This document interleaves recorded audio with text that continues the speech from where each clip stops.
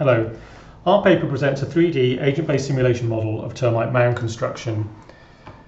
In 1979, Erbel Bruinsma uh, showed empirically that trail pheromone was implicated in the early stages of mound construction. And here we show for the first time that recruitment via pheromone trails can mediate pillar formation and the construction of temporary lamellae in the early stages of mound construction. Come to our talk to find out more.